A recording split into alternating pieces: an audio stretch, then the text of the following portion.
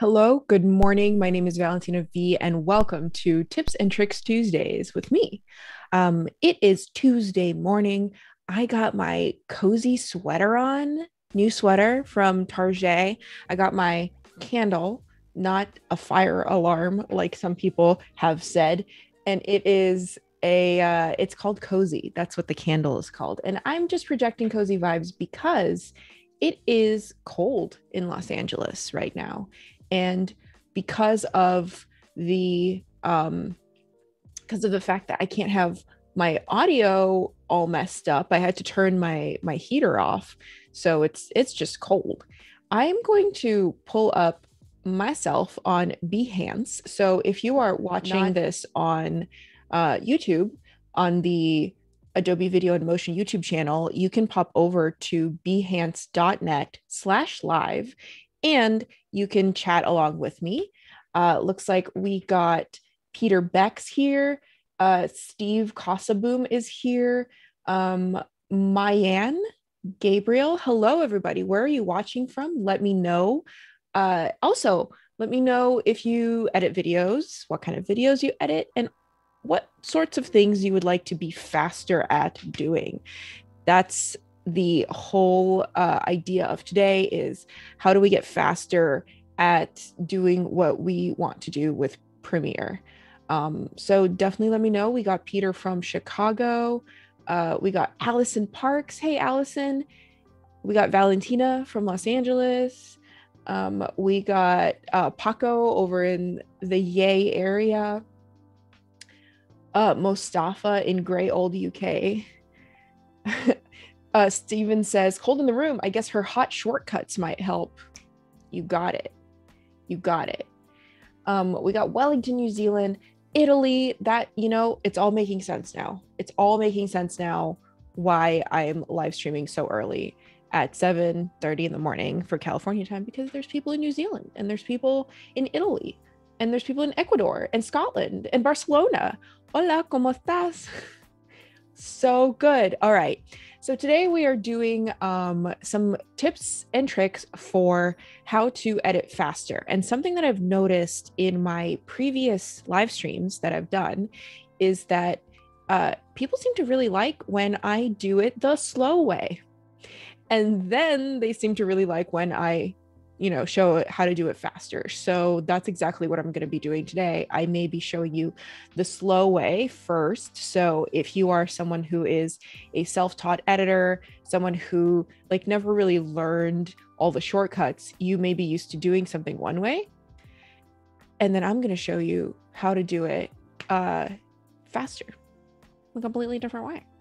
So we got massachusetts baltimore maryland um brazil uh, Mayan says, I'm obsessed about automation and fast workflow, but I'm terrible on Premiere Pro. Well, that's what I'm here for. Timur says, Когда начнется? When does it start? It starts right now. Timur, let's go. Let's get in. I just like to talk for a little bit so that everyone is in the room. So here we are inside of Premiere Pro and just introduce you to this project a little bit so that you're not like looking around lost. Um, this is my project for a cooking demo. Oh, I got to get my Zoom tool. Hold on. That's important. I use this arrow me zoom into the screen. There we go. Okay. So there we go. So we got the footage, audio, sequences, graphics folder, we got a stock media folder, and then we have a couple of random clips. Um, this is just like just an overall tip is just organize as much as possible because it's going to save you time later. For example, uh, I don't actually know what are these random clips over here. Just some random clips. So I'm just going to make a new bin and I'm going to call it 05 random or maybe misc miscellaneous. And I'm going to put those in just so that everything is clean. In the footage bin, we have Adobe stock videos, so these are stock footage that I got from Adobe Stock from the store, and they're in here. They are purchased. And if I double click on every single one of them, you can see that they pull up here. These are uh, videos that, you know, still have the watermark on them. But if I want to purchase them, I click on the little uh, on the little sharpening cart icon. So that's so something that's really cool about Adobe Stock is that you can, you know, get the watermarked videos in there. I have camera A, camera B, camera C. So this is a uh, cooking review demo video. And listen, I'm not a vlogger by any stretch of the imagination. So I pretended like I knew anything about cooking just to make some demo footage for this video. Uh, so this is me cooking. This is me trying to review cooking. Um, you, you know how it goes. So this is the the A camera. A camera. Wow, look at that face. I'm so competent. I'm so good at it. Um, I have my B camera, which is the side angle over here of whatever I'm doing. So it's a completely different camera, by the way. And then we have our C camera over here, which is the top view. So um, that looks good. Also, inside of the B camera bin over here, if you double click it, I open it up and all of my thumbnails populate. Not only do I have the footage, the side footage, but I also have all of my B roll footage, which is all of this, all of that, right? So let's say that I was actually, you know, editing this video and the first thing that I want to do, maybe I'm a little bit too lazy to start editing it right away and I want to procrastinate a little bit. Um, hint hint i do this always. I'm always procrastinating is i want to make a string out sequence because making a string out sequence is easy. I don't have to listen to any audio from the video. I i can just listen to music in the background and just be making my string out sequence. So um z by hp tech rick says same codec all around. Uh it's all h.264 as far as i remember all this footage is in the same codec and yeah it's all mp4 anyway so we have this footage and as we look through it uh, let's just play it through.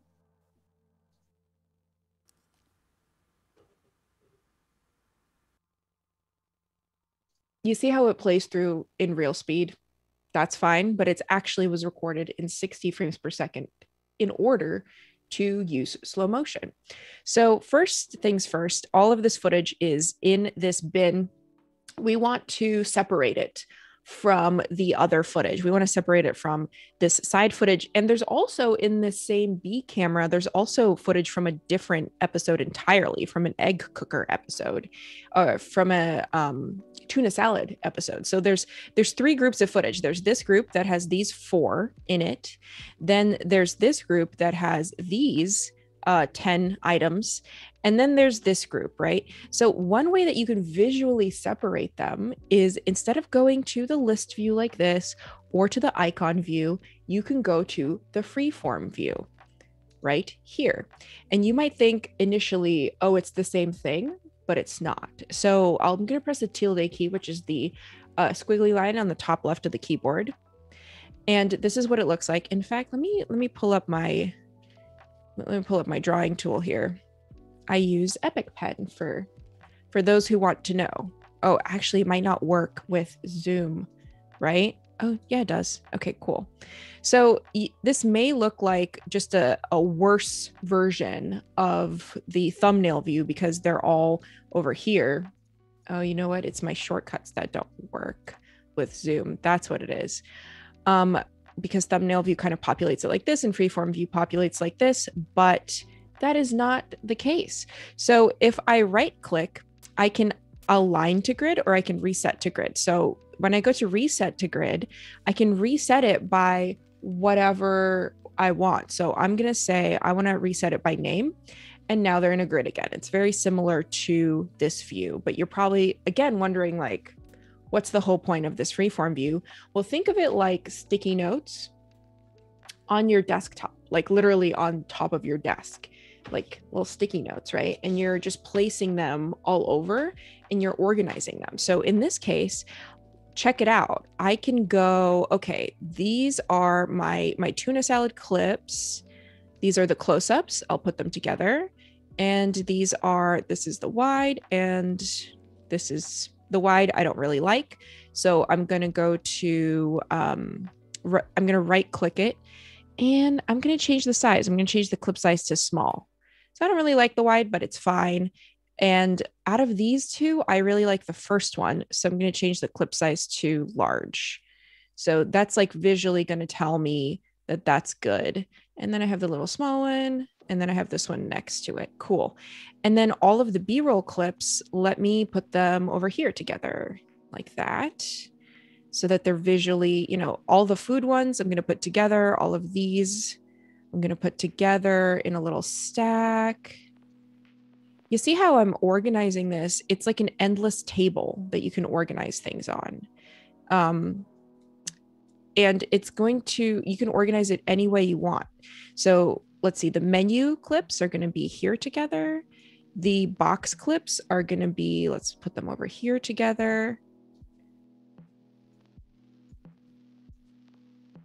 Yep.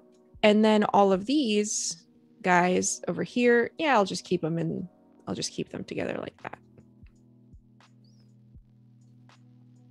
So now I kind of almost made three categories for myself and I can actually zoom out too and like make them even more separate or even more condensed. I can group group clips together, you know, like that. So it shows me uh, an overall picture of all of my clips and all of my categories that is a lot more organized than something like this, where they're all together. Um, here they're all sort of in the same little in the same little bubbles. And then I can go, okay, let me let me now that I see everything, let me change the label on these. So I'm going to right click, I'm going to go to label, and I'm going to make them purple. So you can see the label on them, which is this little dot here, that's changed to purple. So now when I drag them into my timeline, they're going to be purple, or I can select all of them, right click, label, let's make them yellow. These are all yellow now. So that's one way to organize it and then I can just press the tilde key. So now they're all here for me, ready to go, and I can just pull them into my timeline. I currently don't have a timeline. Now, a lot of people, when making timelines, they may go, okay, let me make a new sequence, right? Let me go sequence, file, new, uh, sequence. Okay, let me set my sequence settings and all that jazz. You don't have to do that if your sequence is the same as any of your files has the same you know size and dimensions you can just use that file to make a new sequence and it's really easy so in this case i'm going to drag any of these like maybe i'll drag the first one and i'm going to drag it on top of this icon right here which is the new new item icon it looks like a, a page turn give it a sec to save right here so I'm just going to take this and drag it on top. Oh. Yeah, because I'm in freeform view, it actually dragged over. So one sec, let me pop into this, drag it on top. So it's basically created a sequence in here of uh, just this clip in it. And maybe I don't want this clip in there initially, so I can just delete it. It's not in there. Um, but it also named the sequence after the name of the clip, C16. So if I don't want it to be named after that clip, I can right click. And right here, it says reveal sequence in project. So not only is it going to show me where the sequence is in the project that I've just created, but I can then go ahead and like change the name. So if I do reveal sequence and project, there it is. It has revealed it. It's called C0016. So I can go ahead and rename it to string out or B-roll string out. There we go. So this is my sequence that's going to be the B-roll string out and it has the same size and properties as that one clip that I dragged into it earlier. And I did it just like that without going to create a new sequence. So a lot faster. Now it is in here now. It's inside the footage cam B folder, right? And I want to get it inside my sequences folder. So if you remember when I go up to my like organization here, my main organization of everything, I have my footage folder here. And that sequence, because I made it off of a clip, it got put in the same bin as that original clip. So it's over here in Cam B, right? And to put it into the sequences bin, I have to drag it in. But you see how, like, all of that, I had to go find it and I had to close up all my other bins. So let me let me undo that. So it's in the B folder, but I had my A folder open and I had my C folder open and I had to go ahead and like go into it in full screen. But instead of doing any of that, you can just use the search bar over here. So if you just search, what did I call it? String out. There it is. It pulls it up right there.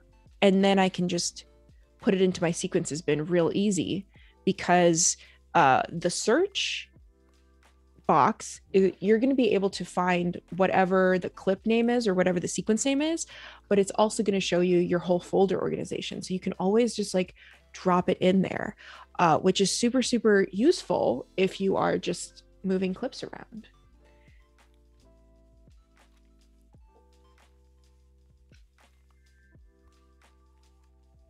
we have to change one setting. So just FYI, we're going to be back in five seconds. Stick around.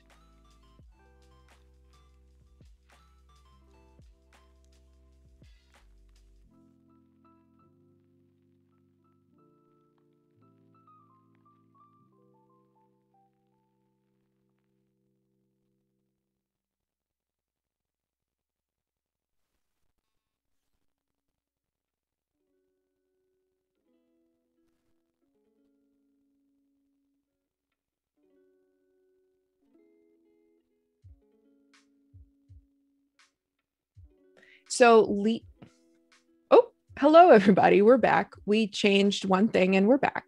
Lisa asked um, a really good question, actually. She says, What's a string out sequence?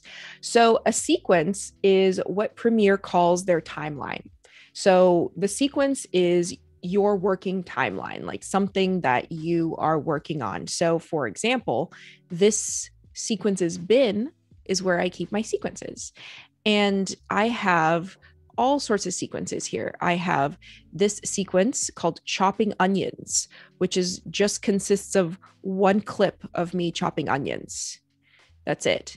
Um, I have this sequence called show intro one, which is just a sequence that contains the intro graphic to the show. Um, I have another sequence called, let's say, tuna salad first cut. And this one has the first cut of my tuna salad video. And all of these sequences are all up here. As soon as I open it, they show up here at the top as tabs. So I can go back and forth to different sequences and see the different videos I'm working on. It could be a different video entirely, it could be a different version of the same video. Um, you can also put a sequence within a sequence. So for example, I have show intro one, right? So this is my intro sequence to the food show. I have three clips um, and a little bit of animation. And if I render it, let's see how fast it'll render. Oh, just a couple seconds. If I render it, I'm able to show it to you. And um, then I can just take that sequence and put it inside of another sequence and keep reusing it as my show intro. A string out is a, a sequence that is full of only the usable footage. And I will show you how to create a string out in mere moments. Um, a string out is all the usable footage essentially. So you're cutting out all of like uh, all of the use- useless stuff. Like when someone, you know, if you're recording yourself, for example, and you're reaching over to your camera to press record, right? This whole part of the video when you're reaching over and then you're fixing yourself all of that you don't need so you can cut that out before you even start editing. So this is what the intro looks like to this video. Check it out.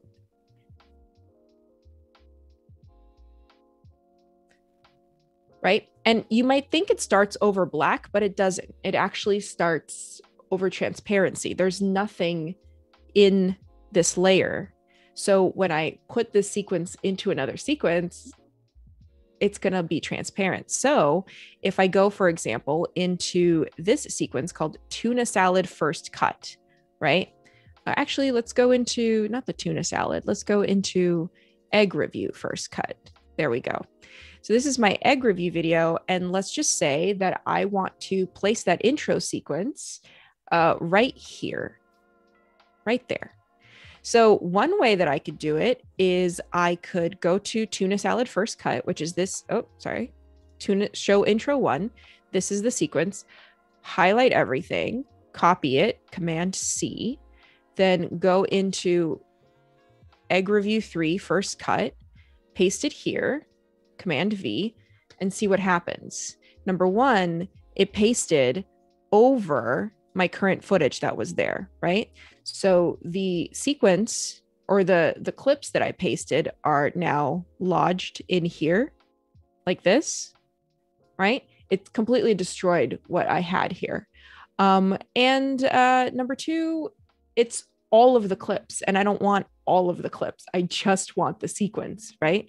So instead of doing that, a faster and more efficient way to do it is, you know, show intro one, we have it right here.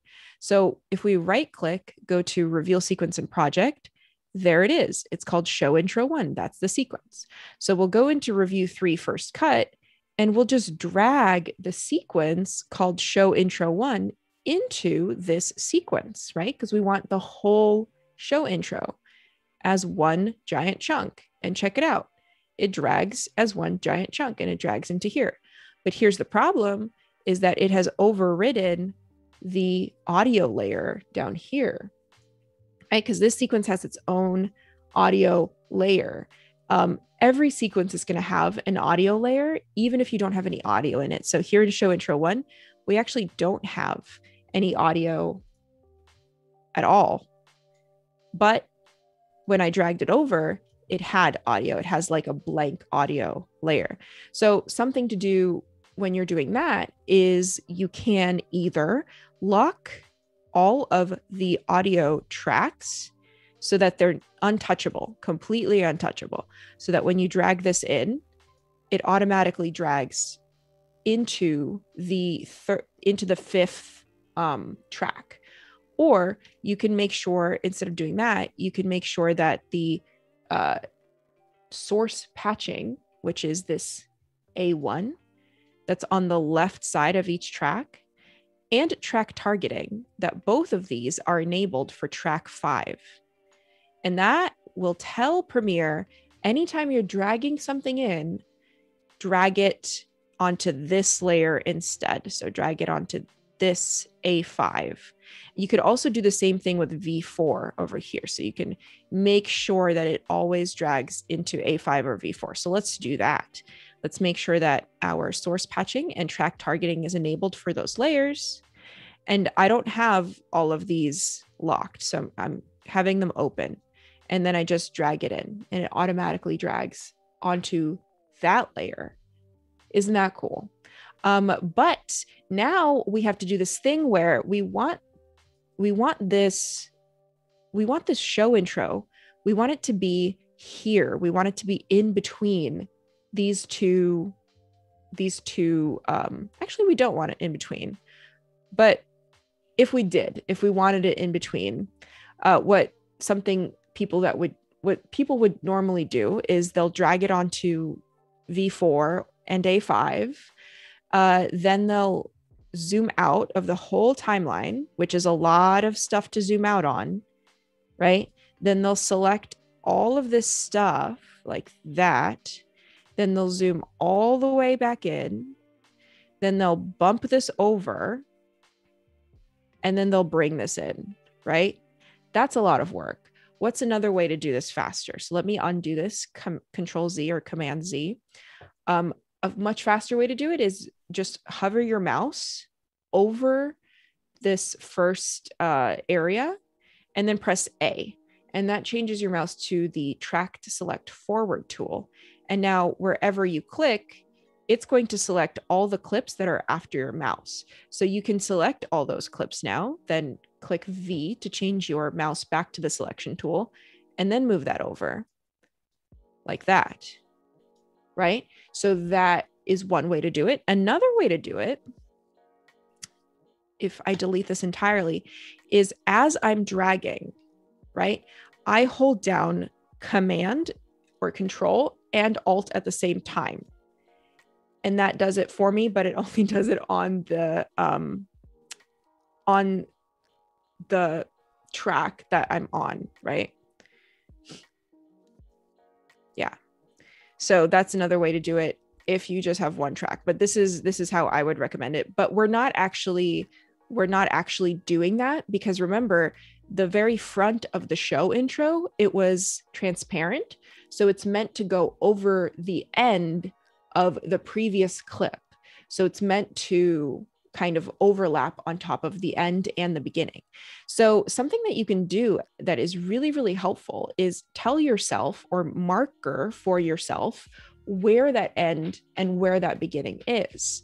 So, if we go into uh, the, if, you know, if we just cr- scrub through it, I can tell that right, right here, where this circle where this circle grows. And as soon as it touches the edges of the video, that's where uh, this clip is completely opaque, right? Not no more transparency. And that is where I want the um the front end of the intro to end. What do I mean by that? That's where I want the overlay to happen. So first thing I'm going to do I I'm just tired of this uh I'm just tired of this awful um audio like empty audio layer just hanging over.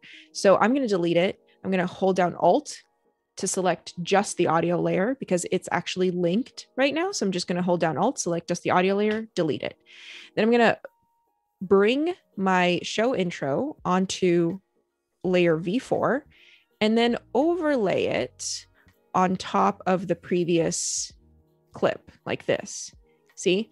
But the problem is that I don't know where it starts, where it ends. You know, I could do something like this where it actually my my previous my previous edit point ends before the show intro actually starts.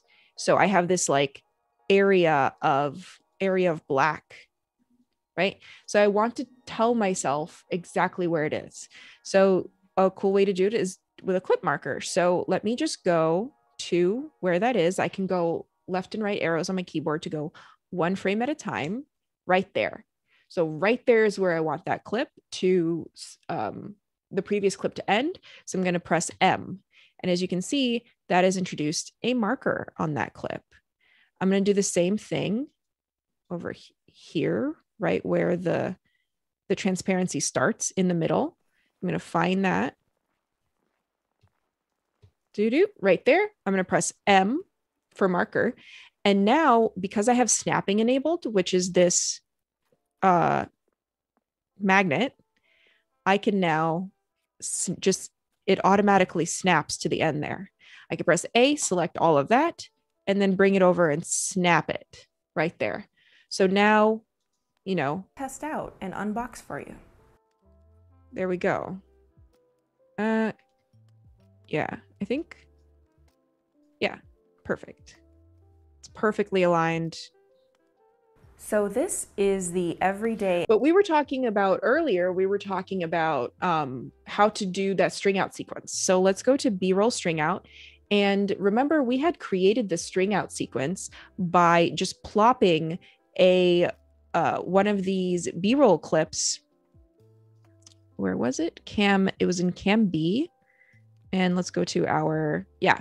So we plopped one of these b-roll clips directly into the, the sequence to create the sequence right so let's just make sure that now that we've created it it is at the dimensions frames per second that we want it to be so i'm going to go to sequence and i'm going to go oh, I'm going to go to sequence, sequence settings, and just check those sequence settings. And as you can see, they are wrong. Why are they wrong, Valentino? Why? Well, check it out. The time base over here is 59.94 frames per second. You're probably wondering why is that wrong? Well, because we originally want this footage to play back in slow motion, right? We want this footage to play back at 23.976 frames per second, but it was captured at 60 frames per second. So if we drag it, if we create a sequence from it, it's going to create a sequence that's 54, 59.94 frames per second. But we want our sequence to be 23.976. So we're just going to change this You could always change it, right? Uh, 23.976 frames per second. Cool. And then we press OK. So now our B roll string out sequence is ready and primed for our footage. But guess what? If I drag it straight in like this and play it, look what happens. Oh, actually, let me, because I already, I already prepped a little bit. Let me undo that, clear it and out. Okay, drag it in like this. So there it is. So that's the full clip. And guess what? It's not in slow motion. You can see you can see the jitteriness of it. So what the way that a lot of people like to build their string out sequences is they'll do this. Gosh darn it, Valentina, why did you have to be so prepared and prep everything and then not unprep it? You know what I'm saying? So let me let me unprep a couple of these so that you can see. So what people will do is they'll select all of these clips, they'll select all of them, and then they will oh, uh, yeah. So let's just select all of these. They'll bring them in these long clips, right? They'll bring them in and then they'll start cutting. So they'll go like, okay, where's the point in my video that okay, right there. I want to cut out everything at the beginning of that clip.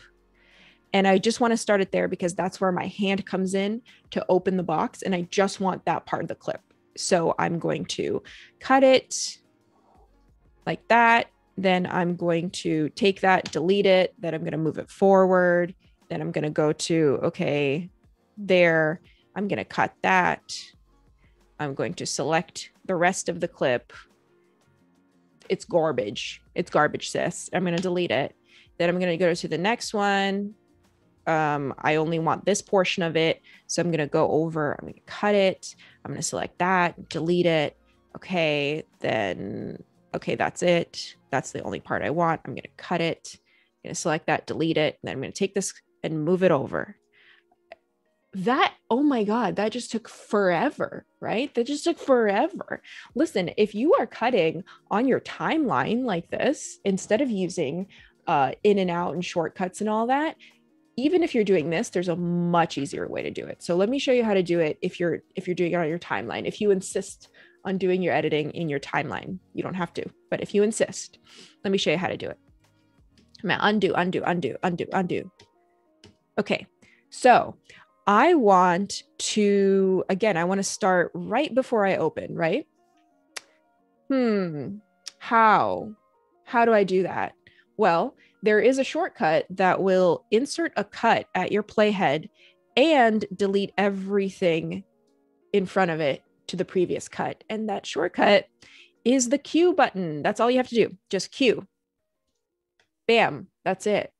Then we go to the end of, okay, right there and that's that's where we want to cut and we want to delete everything from that cut point to the end of the clip until the next cut point that is the w command that's all we have to do we just got to go w bam and not only will it delete it but it will ripple the clips after it as well so then we keep going we keep going okay we find okay that's where we want to start we just press q then we keep going. Okay, that's where we want to end. And we press W and we move on, right?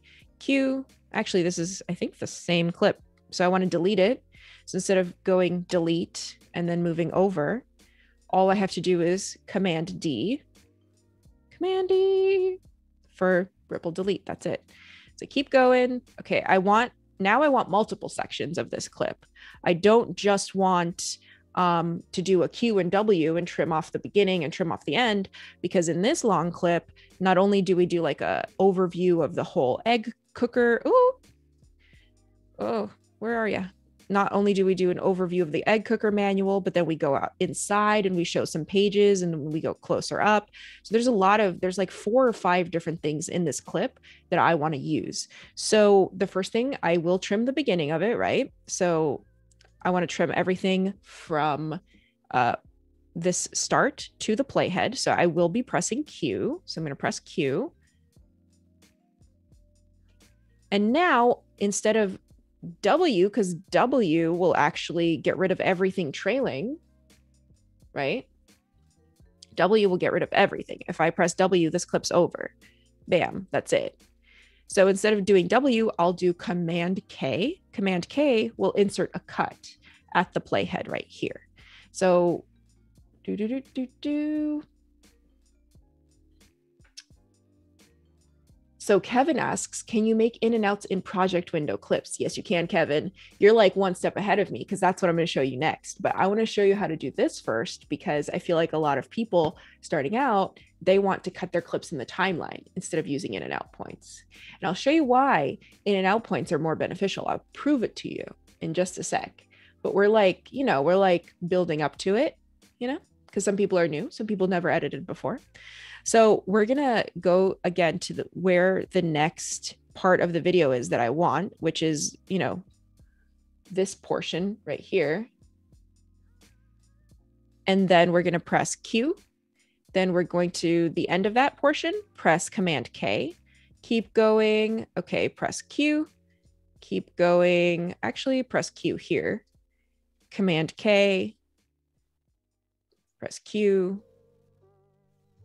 Command K, and then on the zoom in, Q, Command K, Q, Command K, and then Q, actually Q again.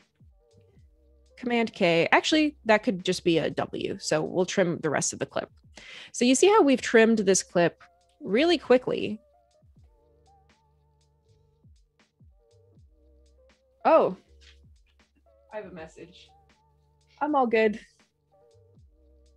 Thank you for letting me know. So that was really easy, right? Q, W, Command K, Q, Command K, Q, Command K, right? But what, Valentina, what happened to the slow motion part of this? Because look at all these clips, they're jittery, right? Because they're not in slow motion, they're not playing back in slow motion. Valentina, I thought that you had recorded this at 60 frames per second just so that we could have the slow motion. What's going on? Well, listen, if you want slow motion, something that a lot of people do is they'll go ahead and uh, change the speed of now each and every single one of these individual clips. So, for example, this last clip right here, if we want it in slow motion, it's a little jittery right now, right? They'll right click and they'll go to speed duration. And then they'll change this here. So instead of the duration being two seconds they'll change it to like let's do let's do four seconds right? So that's 50% speed and they'll click okay. So now it's four seconds and because the original clip has all those frames inside of it to play with this is going to be real slow motion so that's nice. Actually, I'm going to get rid of all of the audio so it doesn't bother us. So like that. Okay, great. But now, oh, oh, snap. Well, now I got to change that clip to slow motion. And my in and out points are already set. So if I go right click speed duration and then I change that to 50, um, okay, but hello, the rest of this clip is gone, right? The rest of this clip is actually over here so, oh no. So instead of doing that, I'm going to undo the slow motion. I have to scooch every clip now. I have to scooch it like this. Oh my goodness. I have to give it room to grow on the side so that it could, you know, expand by by twice as much. That is so much work. Even if you do like a select all and then speed duration and then do speed 50. Even if you do that, that's still too much work. And then you got to close all these gaps. There's a shortcut, by the way, to close gaps. Bam. It's uh, but it's not an automatic shortcut. So e- that that's another way to that's another like bonus tip that I'm throwing in there. If you want to close all gaps, uh, instead of doing this this nonsense right here, um, just go to edit keyboard shortcuts, type in the word gap, and then right here, there's a shortcut for close gap. I don't think it's it's there by default. So I I made it control shift G and control alt G. I have two shortcuts for closing gaps because I'm extra like that. But anyway, um, this is so much work, right? because oh my gosh, it's so much work. Why can't the clips just be slow motion in the first place? They can. They can. So let's let's redo this okay? So b-roll string out i'm going to right click i'm going to go reveal sequence in project. Let me duplicate this and then delete all the clips in there. So i can go to right click and say duplicate and it creates that b-roll string out copy sequence. Or if i want it to be even faster um, i just hold down control and drag down and that creates a copy. So i'm going to uh, do b-roll string out slow mo, right? Double click it to open it. So now we have the b-roll string out slow mo, and then we have the b-roll string out. These two sequences are identical because all I did was copy it. But on this slow mo sequence, we're going to delete all the work we've done because we're going to redo it, but better this time. So we're going to go to Cam B, um, and we're going to we're going to go to these clips. Let's let's take a look at list view because this is really important. This is what I want you to take a look at our sequence, our sequence, this sequence that we're dropping everything in here, this is 23.976 frames per second. These clips, they are 59.94 frames per second. But all of those frames are going to be hiding when we drag them directly, like we did before. Um, so, what I suggest for B roll clips, for slow mo clips, is interpret them first before dragging them in.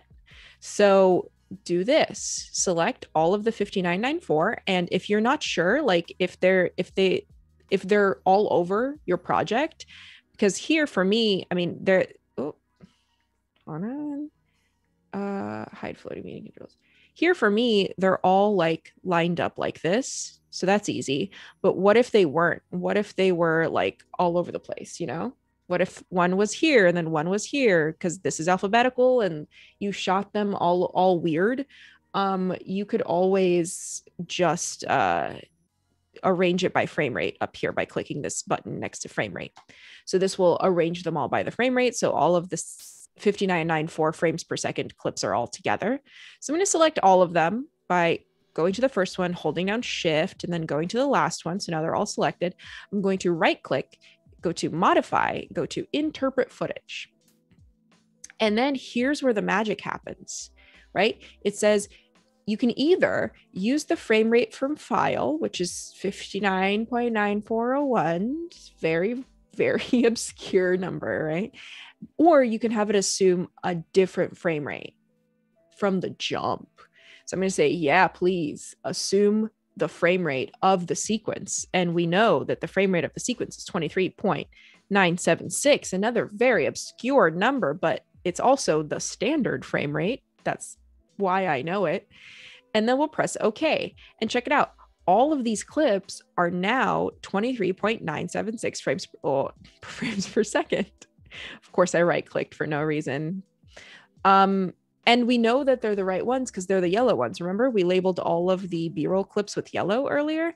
So now check it out. If we play through them, they'll play back in slow motion already. So, I mean, it's very slow. You could hear it too.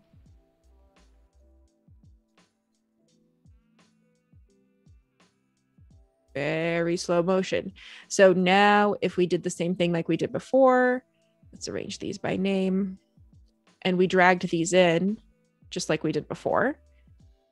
Look what happens. They're like twice as long. So even if you are doing the the thing where you're you're cutting it like the Q and then the command K and then the Q and then the command K, etc now at least you're already cutting slow motion footage from the jump instead of trying to turn it slow motion later after the whole fact, right? Um, but I still don't like this workflow. It's not my favorite workflow. My favorite workflow is the in and out workflow, and that's what I'm going to show you. So the first thing, first things first, is if we go to this uh, first clip, and you hear, you see me scrubbing do you hear any noise of me scrubbing? No. So the first thing is by default, um, if you go into preferences audio, by default, um, Premiere has this enabled play audio while scrubbing. So by default, this is enabled. So when you open up your Premiere, press OK. One thing that's really annoying for me is when I'm scrubbing through B roll that has audio that's been recorded on the camera, but I don't care about it. It's just, you know, some, some, it's just audio that was recorded on the camera, but I'm scrubbing and I hear this. Right. That's so an mm. oh oh you mean okay I probably um disabled the audio option when I did the screen share. Once one one sec let me uh let me see if I can fix that one sec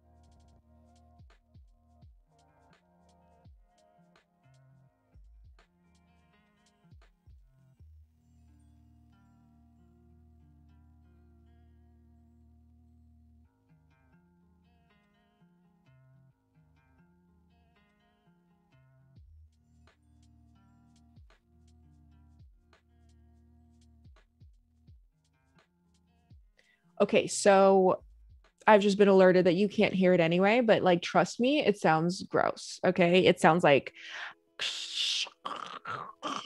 that's a really good imitation of it. So if you don't want to hear all that nonsense, especially slow motion nonsense when you're um, scrubbing, just go to uh, fi- edit preferences, or it might be file preferences if you're on a Mac. I haven't edited on a Mac in a few years, so I don't know things. Go to audio and then um, uncheck play audio while scrubbing. And that's going to not play your audio while scrubbing, right? So now you're gonna, you can just like play your favorite music or whatever. So this is the in and out workflow for making string outs, and it is so fast. So what I'm gonna have you practice, if you ever do this, is just keep your fingers on the I, O, and period buttons on your keyboard. The I, the O, and the period. Period, sis. So, okay, I spend too much time on TikTok. Um, one sec. Every time I, so interestingly enough, Zoom's shortcuts are the same. Some of them overlap with the shortcuts that I've made for my uh, screen presentation software so sometimes they show up.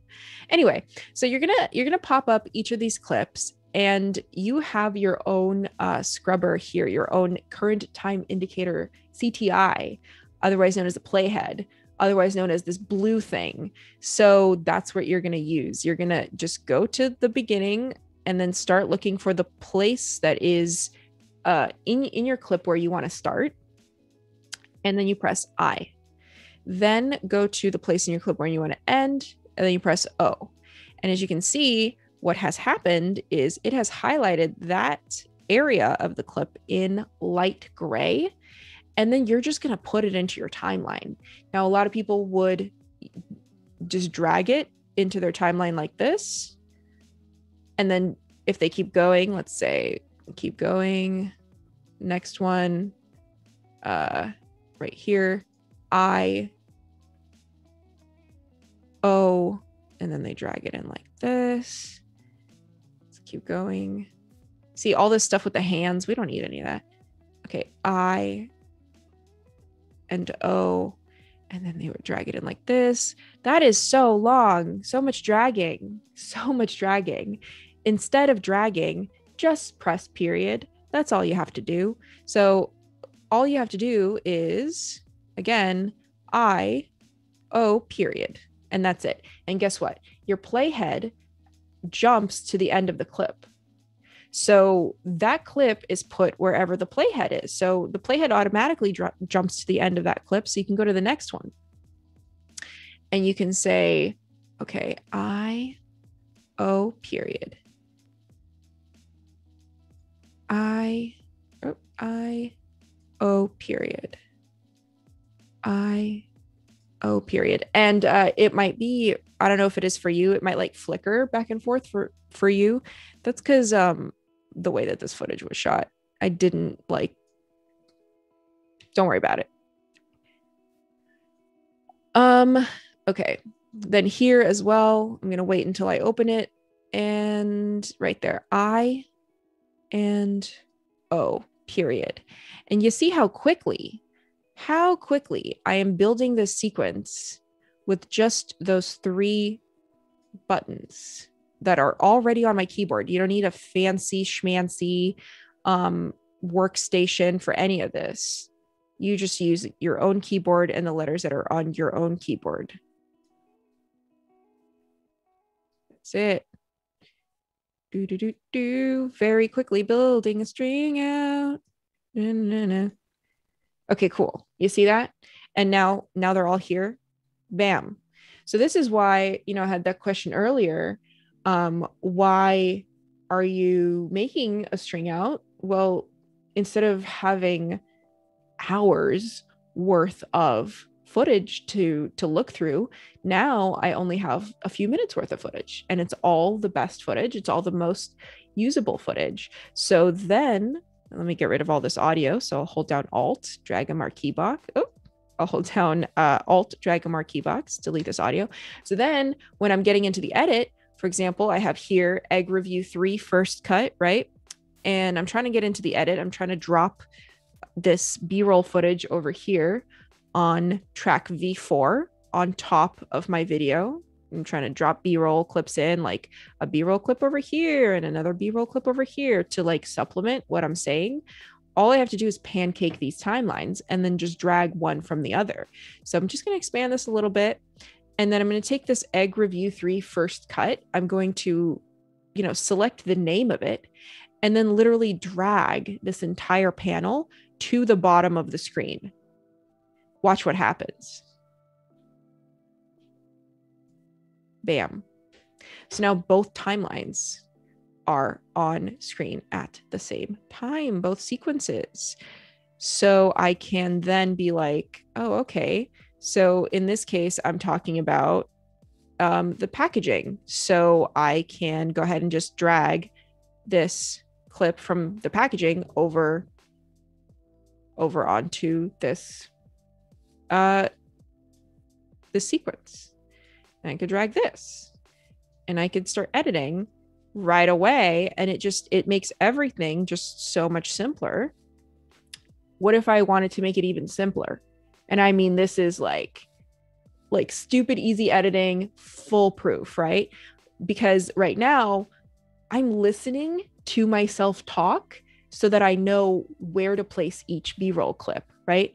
I'm talking about the packaging. So this is where I want to place those. I'm talking about this. But like, what if this is a project that I started three months ago and I only got the B roll now? Like, what if it's something like that, right? You want to give yourself little hints of where you want things to be. So instead of doing that, First, before I do that, I'm going to help myself and tell myself where these things are. And remember how we did a clip marker earlier when we were doing um, this, the show intro, and we placed a little marker. We placed a little marker here on the clip to uh, let us know where where things needed to be, where things needed to line up to. Well, let's do the same thing, but this time on the entire timeline as a whole. So if you oh by the way if you go um if you scrub your timeline just normally just like by default if you're scrubbing your timeline look at what happens. It's always going to be selecting the top clip right? You can see that it selects the top clip. So as i move my current time indicator it selects the top clip. So say i want to place a marker on my timeline individual of the clip right? If i place a marker right now if i press m if I press M, it's going to add a clip marker instead of a timeline marker. Why? It's because the clip was selected. Why? It's because I had my indicator over it. So instead of having it on the clip, I have to click out, I have to click somewhere else. and then I have to press M and that way, and that way the marker shows up here, right? So again, like let's say I want to place a marker around 44 seconds. So I want to place that marker here. Um, but uh, you know, I have so I have my my playhead there, and then I press M, oops, it accidentally shows up on my clip. So instead, I have to click out of the clip and then press M for that marker to show up there. But we can make it even easier because we can just go to sequence and deselect selection follows playhead. Just deselect it. So now, whenever I move my playhead, it never selects the top clip. So it when I press M for marker, it's always going to go on the sequence. So now I can use these markers. Markers are not just point markers, they're also durational markers, and you can also write things in them. So, for example, on this one, on the first one here, let's say that this is where I want to place my first B roll clip, and I'm maybe I've I, I'm telling this to myself for later so that I don't forget. So while holding down Alt, I'm going to click on the marker and drag it out and make it durational so that later when I'm editing, I'll know that from here to here, that's where I want to place that B roll clip. I can also double click on the marker to pull up the marker menu and I can give it a name. So, for example, packaging, packaging, right? And let's make it red. And I'll click OK. So that's where the packaging B roll goes. Maybe over here, I'm going to press Alt, drag that, double click that. And this will be for the um, this will be for the uh, booklet. And then press OK. And let's make that a little bit longer. Yep. And uh, etc etc so now when i drag this down and i pancake it right um let's get the string out up here and normally you know i have a i have two monitors so and i also have 4k monitors so it's not like so constrained as you can see here it's like there's just more to play with but for the purposes of this demonstration uh it's all here Let's open B-roll string out slow-mo.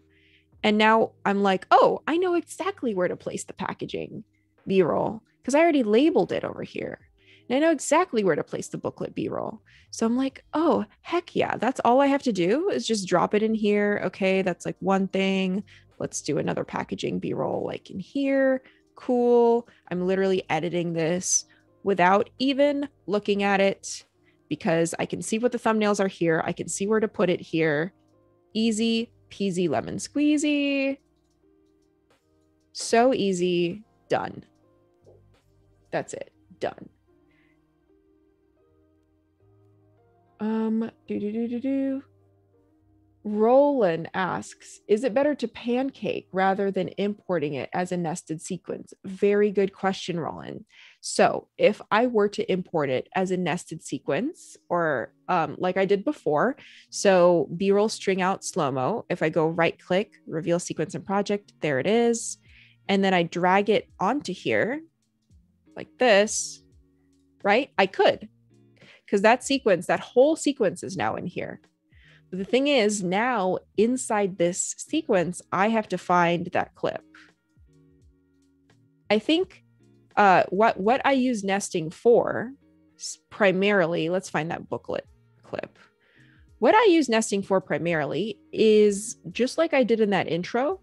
If you have several clips that are already in their own little see now I have this, but now I have to now I have to split it up again into like shorter chunks. There we go. So you can, you can bring in a nested sequence, but the thing is like these clips, they're in a string out. And the string out, um, the order of the string out doesn't matter. The length of each clip doesn't matter because it's just a sequence of usable footage, right? Whereas this show intro, that's an actual that's an actual little build that I've got going on, right? There's like a little intro animation, there's a couple of different layers. Like this is a, a fully completed little piece. So this fully completed little piece, this makes more sense to be dragging this into the the actual project rather than these clips which the whole point of them even being on a separate timeline is just to gather them there together so that we can see the usable clips all in one place if that makes sense. Let me let me just scroll up um, to see if there's any other questions. We have joshua davis who asks what are your favorite youtube channels about filmmaking and editing? Really good question joshua um, one of my favorite channels for filmmaking is called Film Riot with Ryan Connolly. Uh, it's just called Film Riot, but Ryan Connolly's the guy who runs it. He's awesome. They have tutorials on everything. Also, um, I really love Corridor Digital. They do a lot of like VFX stuff. I also really love Indy Mogul. They bring in like professional cinematographers, professional gaffers to explain their setups and of course Aputure, which is the ch- one of the channels I host where I teach cinematography. As far as editing, um, Premiere Gal is a really great editing channel, and we also have Leela from YouTube, um, two really great editors. So yeah, uh, definitely check those out. Just checking more of the chat. Um,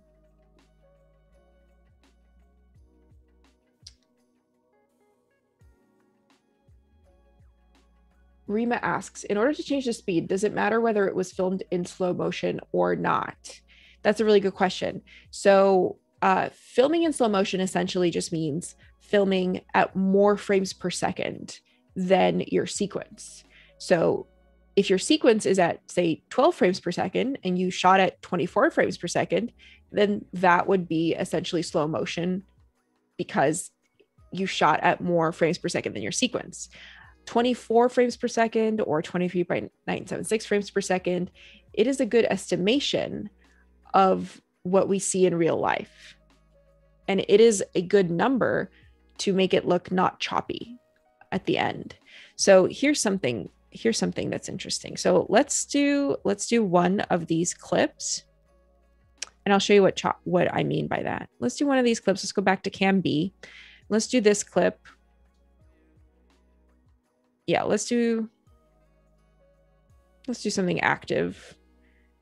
Um they're all kind of passive. Oh, the active ones are at the back here. Yeah, right here. So this where I'm like cutting the egg. Let's play it right now because it's it was recorded in 60 frames per second and I changed it to 23976. So see how it's in slow motion now? If we were to change it to a lower frame rate, so right click, modify, interpret footage. So instead of 23.98, we changed it to like 10, for example. It would play back super, super choppy. So let's play that. See how it's kind of just like, I mean, it's still very, very slow, but it's it's choppier. Let's try that again. Uh, did I not? Yeah. And if I go frame by frame, you'll see what I mean. So I'm going to go uh, right and left on my keyboard. And you'll see, I'm going to tell you when I'm cl- clicking right and left, but sometimes you won't see a change of frame. So I'm going frame, frame, frame, frame, frame. Oh, I think it auto, I put it auto puts those in between frames in. That's cool. Um, another way to kind of see this is let me bring in something that was originally shot at 2398. So something like this. Do, do, do, do. Okay, here we go. So here, so I'm cutting this egg. I'm going to do I, cutting this egg, and O, and I'm going to bring this in just the video, not the audio, by going over here to drag video only and then dragging it in just to show you what it does. Drag video only right there. Oh, and another another little tip for you is if you have um if you have a lot of like stuff going on, like for example, you just want to work with this clip in the timeline for now, but you have all these other clips in your timeline and they're all 4K clips and they're all annoying to play back because playing back three rows of 4K with a fourth row of 4K on top of it is just a lot.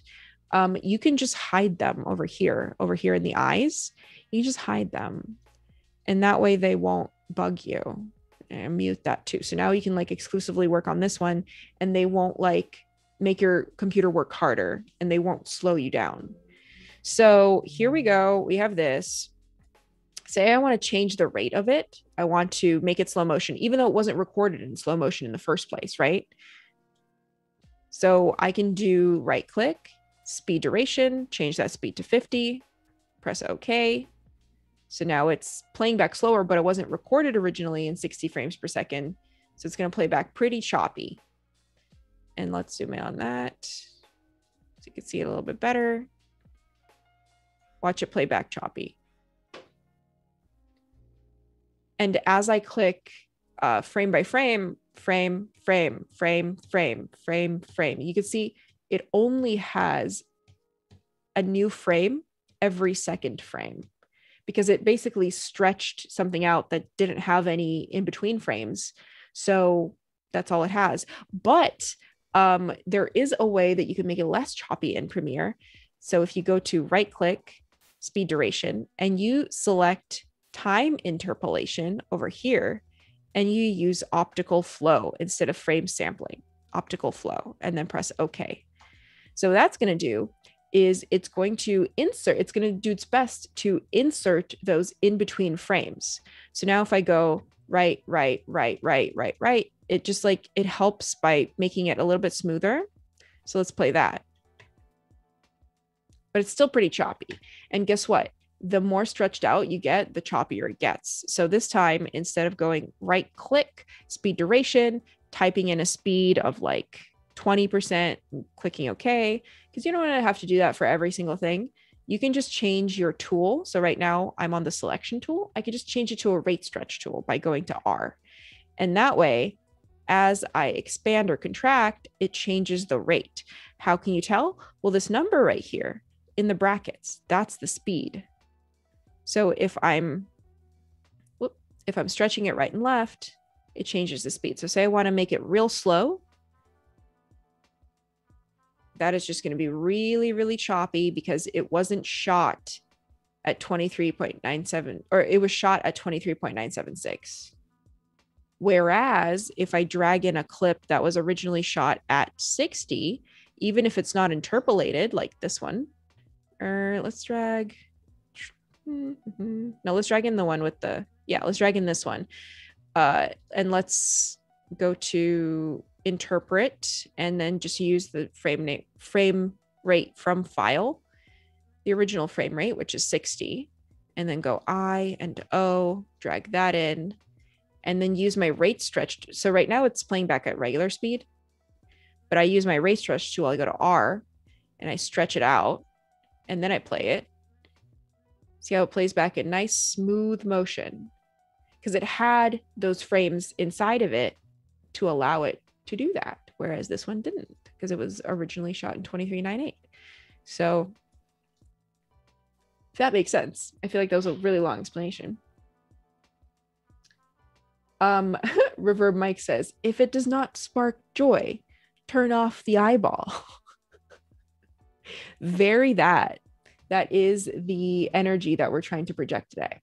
So Another way to um, to do this in and out workflow, if you are feeling fancy about it, is you don't even have to pull it up in the source monitor over here. You can do it straight up from your bins. So if you go to your um, if you go to your bin organization over here, you see how as you scrub through it, as you let me actually make these thumbnails a lot bigger. Yeah, let's make it that big why not? We're living, we're living our life. As you hover over them, this is called hover scrub, it scrubs through it. So literally, you do not have to like double click on the clip, bring it up here, then move this indicator, go to I, move it over to O, and then press the the comma or the period. Um,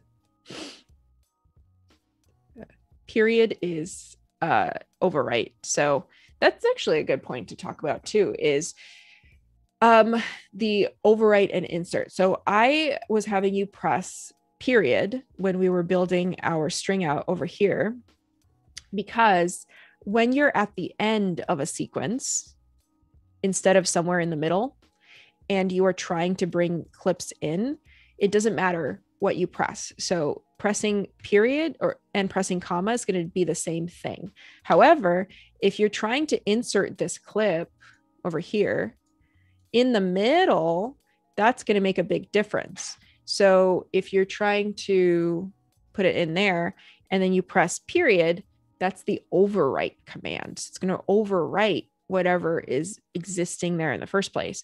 Whereas if you press comma, that is going to insert. And that is even more important when you are trying to put b-roll straight up from the uh, the source monitor into like your fourth row, your fourth video row, and your fifth audio row.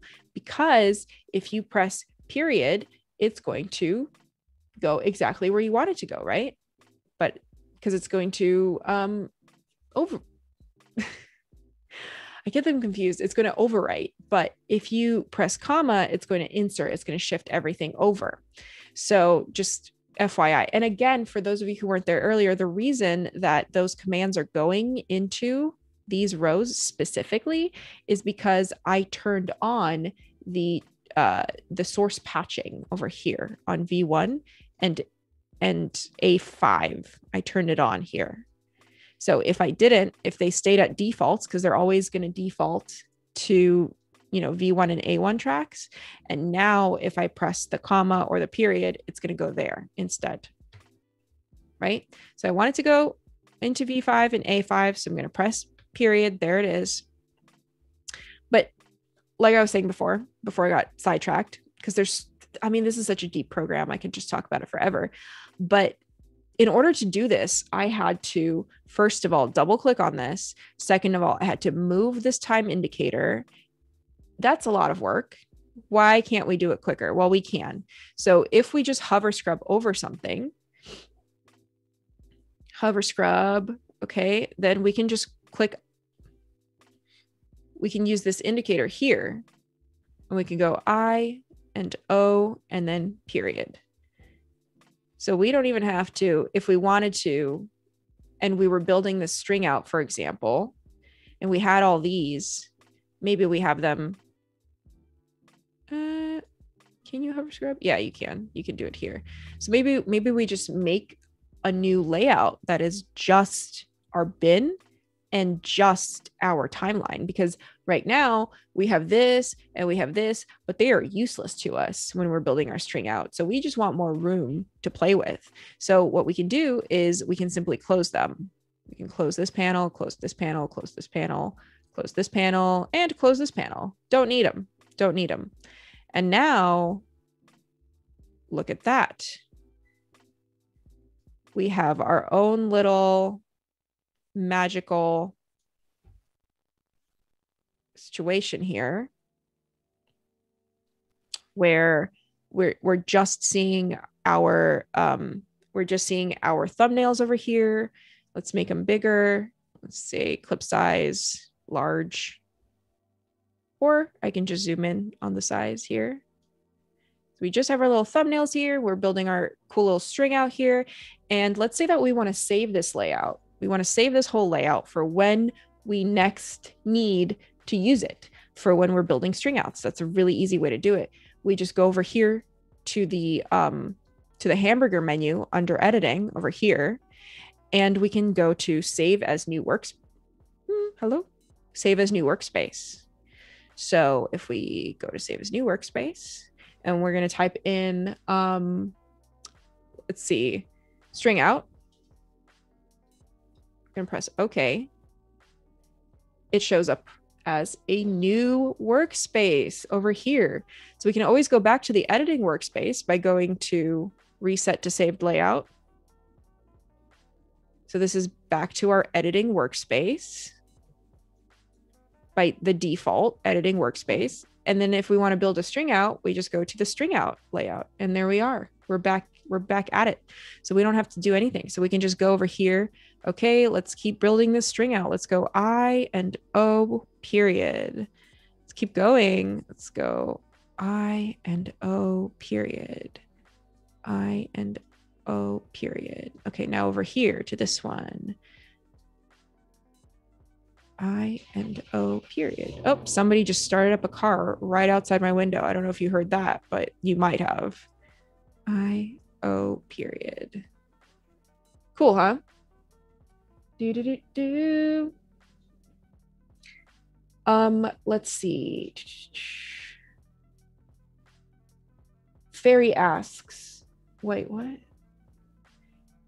No, I think I answered all these questions. The the chat is about like 40 seconds behind what I'm actually saying. So a lot of times if you ask a question in the chat, um, I won't see it until much later. So okay. Um, one thing I also want to talk about, because so we talked about hover scrubbing, we just talked about it, right? We talked about in and out points, track targeting. Uh, we did some timeline shortcuts if you're trying to edit in the timeline and we talked about how to set durational markers and labels. But something that I want to talk about is what if you want to work within the restraints of your edit after it's already mostly done? So let's do that. Let's go back to the editing workspace and let me pull up under sequences over here. So this is my final video, right? Oh, and by the way, um, before I before I finish this today, I do want to plug this because this is super useful. I think for people. Um, I have created if if this is like mind blowing to you and maybe it's a little bit more advanced, I have created a beginner's course, and I'm talking like you've never opened the program before, you don't know what you're doing. Um, I've created a beginner's course, and it is on the same YouTube channel that this video is on, and it was uploaded yesterday. So you can go check it out. It's called uh what's it called? Premiere Pro for beginners, I think. Hold on. I don't remember. But essentially it's my it's two and a half hours. Um, and the reason I'm mentioning it is because I'm using the same assets today. The, this cooking stuff, I'm using the same assets today as I am showing in that video. So you can download these exact same assets and you can play around with them. I'm giving them away for free and it's in the description of that video. So thank you, Tim, for posting it in the chat. Um, so yeah, if you want to download all of this footage and play with it yourself, it's for free. I'm giving it to you. So um, back to this. So let's remember those uh, that that row row v4 and those b-roll clips that we placed the yellow ones so let's let's let's dive in a little bit more into those right here so let's say for example that i want to use a different portion of this clip. So if i double click on it you can see here that this gray area is the portion of the clip that i'm using over here.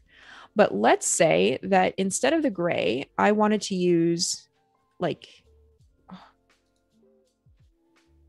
instead of that, I wanted to use a clip from over here, right? I wanted to use a different section of the same clip. So this full clip obviously extends a lot and extends a lot there. So this is what I think someone would do first, right? They would expand this clip then they would look for that spot in it that you want to use. Okay. Oh, uh, now it's too long. So I got to put it on a separate, on its own separate thing to expand it further and keep searching. Okay, there, there, that's what I want. So I'm going to bring that over now. Oh, snap. I lost it. Where was it? I don't know. Gosh darn it. Uh, okay. Well, I guess. There we go. That's what someone would do. Oh my god that is that takes so much time. I mean first of all just to save yourself a little bit of the hassle before if you're going to do that whole rigmarole instead of doing that at least put a little timeline marker where this clip is supposed to start. So you know um, give yourself like a little marker there m. So at least you know where it's supposed to start. And then maybe actually maybe give yourself another one for where it's supposed to end. So the original clip that's how long it was it's uh, um it started here and it ended here. So let's place markers where let's place markers there m and then m at the very least so that if you're going to go through that whole giant process of trying to find that other piece you can at least do that. Oh my goodness. Wow but that took so long.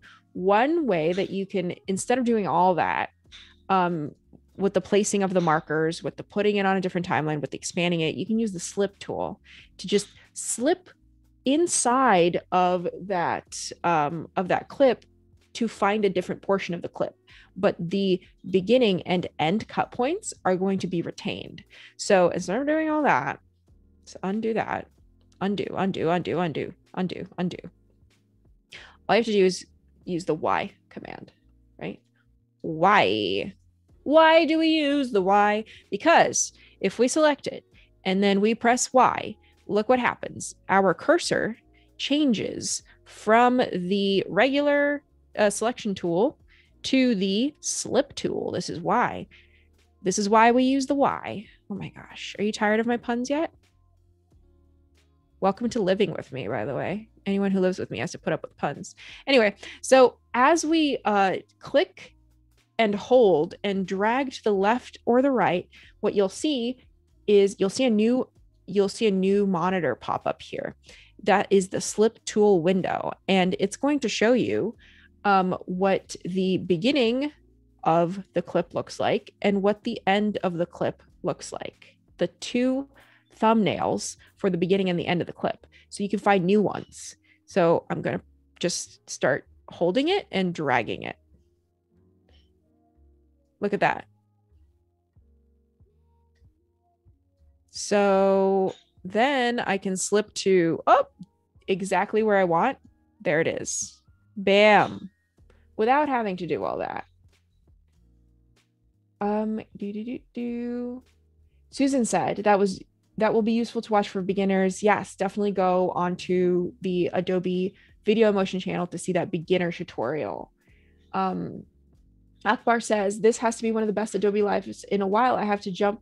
Well, goodbye. Thank you for being here. Uh, let's see. We have just a few more minutes. So if anybody has any questions, like literally any last minute questions, this would be the time today we have gone through um, a lot of stuff. Oh, here's one. Here's one more. Right. Say that you want to maybe use uh, two two sections of this clip. Right. You may want to use this one, but you may want to use the other one too, and you want to duplicate it. And one way to duplicate it would be right click, uh, reveal in project. Okay, there it is. And then drag it back in. Oh, it's too long. Darn it. So now I have to find the new spot in it, which is like I and then O and then drag it in here. Yeah, that's a lot of work, right? So instead, just click on the clip, hold hold down com- uh, sorry, hold down alt and then drag and that duplicates the clip. So you can duplicate on top of itself if you want. Um, but yeah, now it duplicates the clip. So now you can go on this clip, go Y, and then slip to whatever other portion of the clip you want. You can also go a lot faster with the slipping if you just hold down shift. So if you don't hold down shift, you see how it just it goes mm, kind of slow, but then if you hold down shift, it just like zooms, it zooms around. So there we go. Now we have the same clip but different portions of it because we just duplicated it really quickly by using the alt command.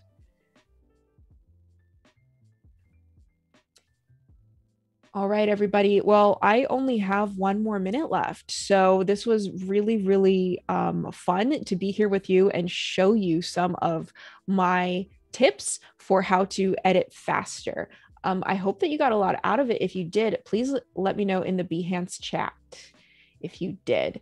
Next week or two weeks from now, we're going to be talking all about audio, um, how to sweeten audio. We're going to be using all like literally all of all of my best tips on how to make audio sound better. Until then, I hope you have a wonderful rest of your day, afternoon, night, evening, wherever you are, and I'll see you later. Bye everybody.